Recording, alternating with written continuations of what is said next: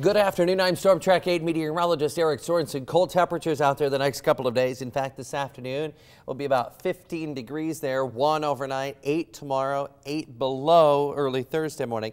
And then we'll watch areas, especially to the south of the Quad Cities. We could get a little snow here as we look toward the weekend, so that system will come close. This afternoon, enjoying some sunshine, but cold temperatures. Breezy, chilly, a few flurries and 15. Tonight down to 1, mighty cold and Look at the high temperature both tomorrow and Thursday, a high of only 8. 22 Friday, 26 Saturday will come with some snow flurries and snow showers. We begin the warm up by the middle of next week. Sneak peek at your 14 day outlook. Oh, I've got it coming for you right there, showing temperatures perhaps nearing 40s and 50 degree territory, uh, just a little under two weeks away. By that time, we'll be in March, and our coverage continues 24 7 at WQAD.com.